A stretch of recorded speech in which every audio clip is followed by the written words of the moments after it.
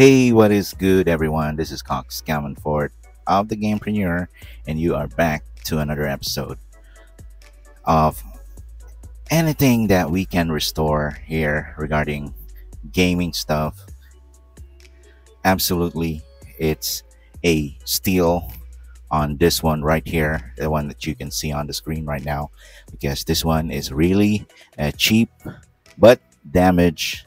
That's why we're going to restore it. Now, uh, the problem with this is the LCD itself. It's damaged. So, by the way, the what is this? It's a portable monitor for gaming console. Uh, if you are familiar with the brand Gaems, that spells out G A E M S, and this is the model number G155. I think this is one of the first generation of this portable device.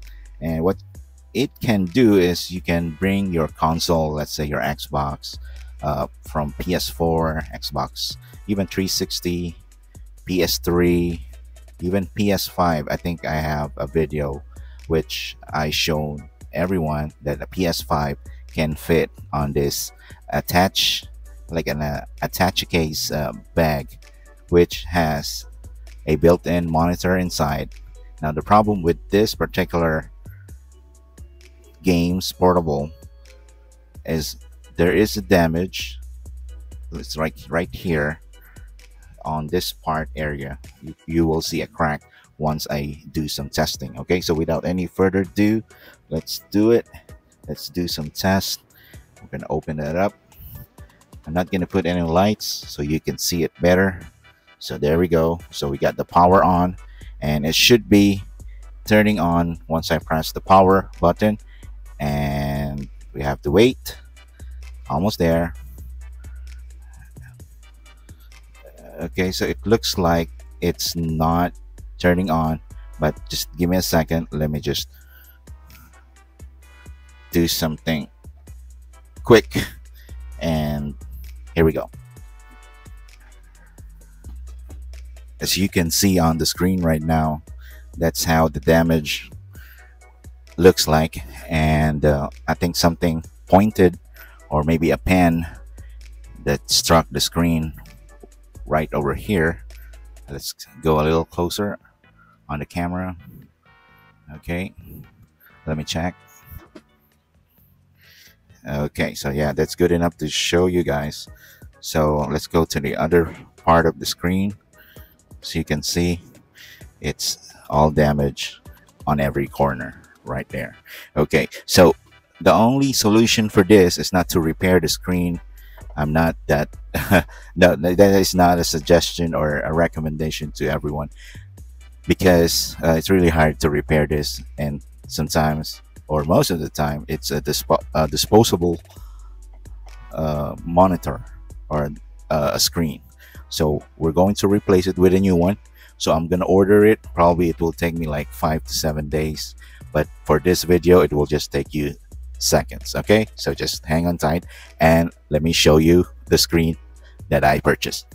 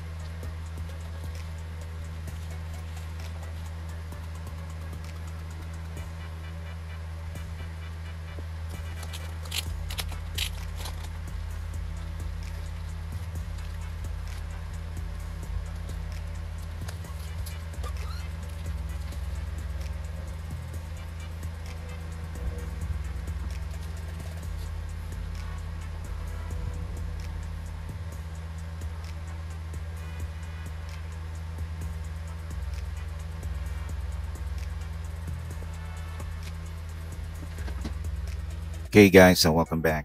So probably uh, the first or the next question i mean is is how do we disassemble this?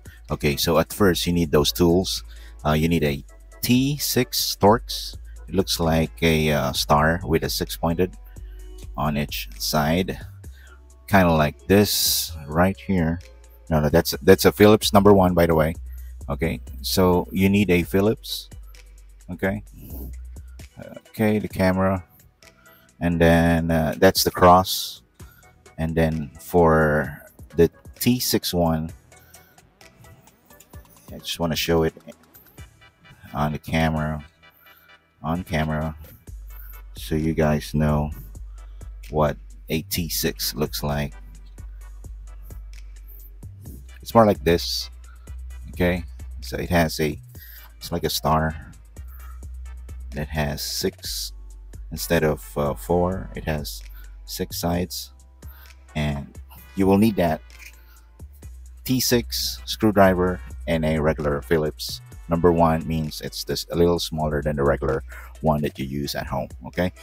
So at first step we just need to remove the logo okay? I'm just going to show the picture on the screen okay? So in front of the logo this is what I'm talking about. Of course you need some plastic to scrape this. So this one holds in the bag with just the regular glue and a sticker. So it's really sticky at first if it's the first time removing it. And then uh, once you remove that it will reveal a 4 uh, T6 screw. And I'm just gonna show you I have to remove the LCD right now okay I already uh, already removed this prior because I wanted to show you guys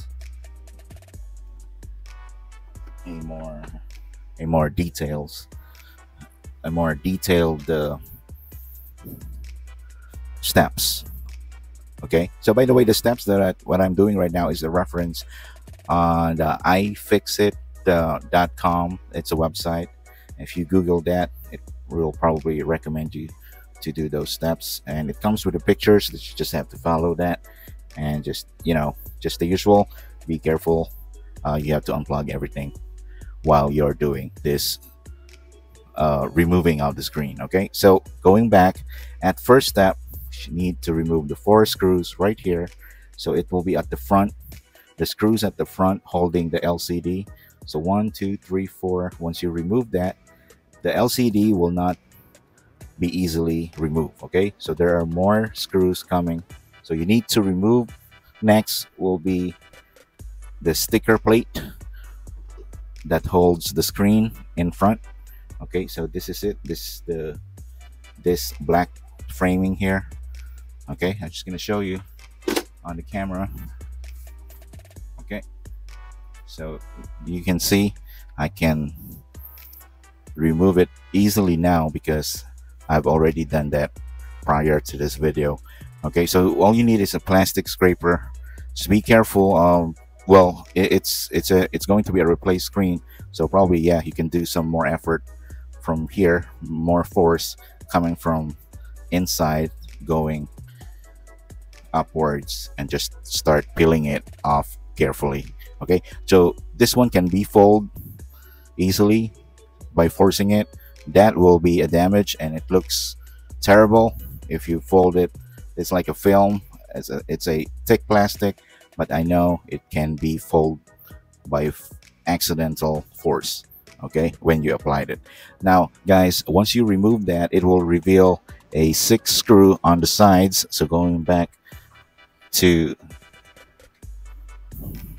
the case okay so one two three four five six and that is a Phillips okay? So it's back to the Phillips screw. You have the screwdriver remove this six of those and then there is hidden here okay? I hope that can be shown on the camera. Okay it's right here okay? Yeah it's on the screen. So seven. Seven screws. And i think this is let me just count it. So two four six eight ten. Ten. 10 okay so we have 10 Phillips screws. I think this one is included right here. Okay. So one two three four five six seven eight nine. And where is the rest? Let me double check that one for you okay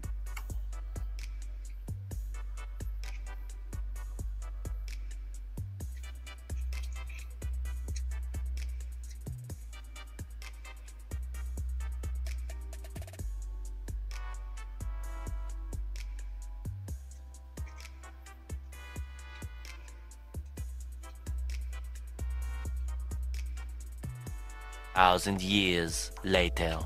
All right, guys. So I've double checked it. Kind of sorry, forgot the how many screws are in there. So let's just put the light to show you clearly. Okay.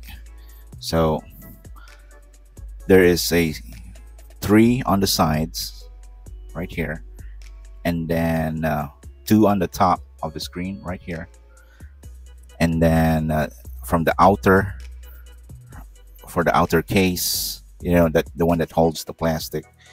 It's it has two. So total of six plus four is equals to 10 okay so that's why i'm kind of uh, confused a little bit on there. So yep and those are phillips okay? The only t6 will be the four from outside um, the logo part okay? So once you remove that the hard part will be removing the clip okay? So there are six clip clips that holds the plastic holder of the LCD so just be careful. Uh, it have it has to be because it holds that way so you need to gently or get some plastic thing that you can uh, poke. There is a uh, there is a a space, a little bit of space there that you can put some plastic scraper or plastic thing that can uh, hold the plastic going out on the or on the outer part of the screen. Okay, so or the, the bag itself.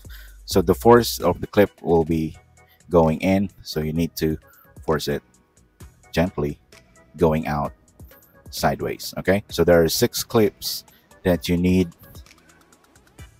to poke and if I were you just go on the the first side pick a side left or right and then follow on the next side okay? So once you remove that you will we will go and look at the screen that we we need to replace okay? What particular model. So how I choose how I um, we're gonna talk about it okay? So let's go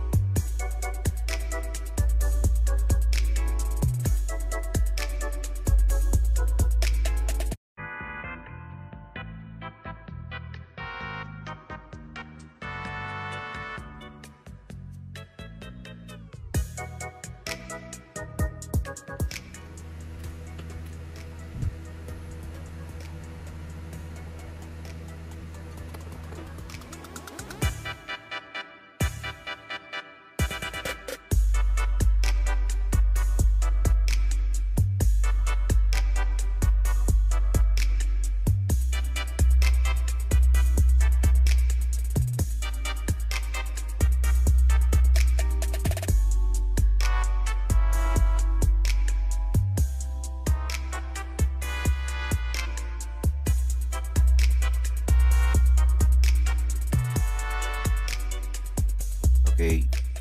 All right guys. So welcome back. Before i close this or return the lcd i just want to uh, correct the screws. So this one has no function. The six on this side both side has no screw. So it just have a clip.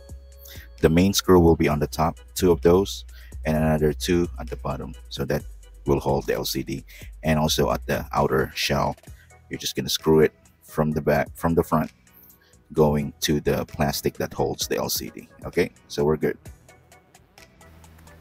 All right, guys. So moment of truth before we close this and return it to the bag, we have to double check if I properly connected the pin and just the pin the 40 it's a it's a 40 pin ribbon that I already connected. I tried to use Kapton tape but it's not working. So I tried to just solder it back just like before. Just the default it was soldered.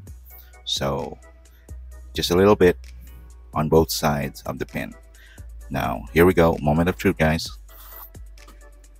I'm a little nervous because there is no refund on the LCD if you know what I'm talking about. Here we go. So the power is uh, the standby power is lit up so that's a good sign. So let me press this one and here we go.